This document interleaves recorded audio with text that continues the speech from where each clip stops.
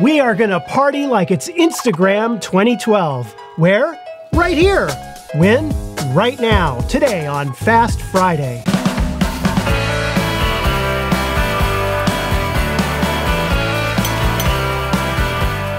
Hi everyone, welcome to Pal2Tech. Today we are talking about what Fujifilm calls advanced filters. It's kind of a misleading name because you would think that it's a feature intended for professional high-level lens and light manipulation or some kind of advanced setting that must be really important because it even has its own dedicated spot on the control dial. So what are they? Advanced filters are basically preset looks that your Fujifilm camera applies directly to your JPEG file as soon as your shot is taken. To access the advanced filters, the first thing you need to do is rotate your drive dial to ADV for advanced. Next, you need to go into your menu, into the camera drive setting, and you'll see advanced filter setting right there. And you can rotate through all of the various filters that you have. These are pretty self-explanatory. I'm not going to go through every single one, but let's just take a look at a few here. One of my favorites is the partial color. And partial color allows you to choose red, orange, yellow, yellow, green, blue, and purple, which is really cool because it can isolate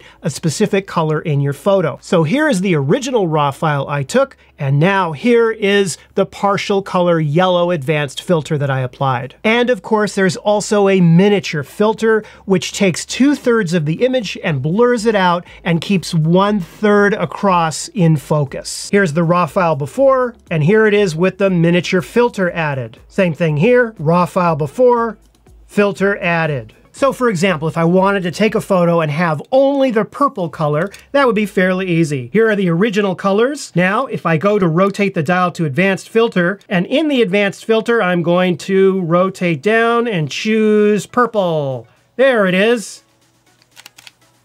I've got a couple of important tips for you when using advanced filters. The first is assign a shortcut button. I can't emphasize that enough. It's really weird where they've put the advanced filters setting. Every time you want to change an advanced filter, you have to go into the camera, into drive setting, down into advanced filter setting. What a hassle. So what I would recommend you do is simply assign a shortcut button. Press and hold down the DISP back button on the camera, then pick a button to assign it to. For the purpose of this demo, I'll assign it to the auto exposure lock button, and you wanna find where it says drive setting. You see that right there? Boom. Now, if you have the control dial set to ADV for advanced and you're ready to go, all you need to do is press your assign button and boom, it immediately jumps to the various filters. The second important point you need to know about advanced filters is that there is no histogram. Because of that, be careful because you could blow your highlights. So have a look at this photo I shot by the docks. Look at this white area where the docks are. I was in danger of blowing those highlights out. If I had just another stop exposed, I would have blown that out.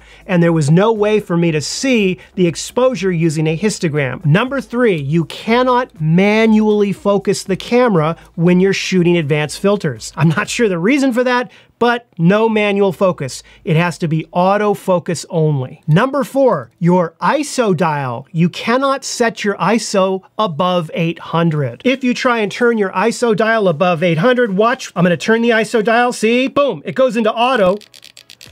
Number five, the most important advice I can give you. Always shoot RAW and JPEG when using this advanced filters feature. You can get the kind of creative shot as your JPEG, but you have a backup RAW file in case one day you decide, well, take a look at this. One day I may decide that I really actually want the rest of this image in focus and that this actually looks quite ugly, right? So I could just, boom, go to my RAW file right here. Always shoot JPEG and RAW. So the bottom line on these advanced filters is they're actually kind of fun. They give you a creative way to experiment around with different looks and you can save and have your RAW file should you want to go back to a normal shot. So get out there this weekend, take your camera, put it in mode, and shoot a couple of shots. See how creative you can get. That's your assignment for this weekend.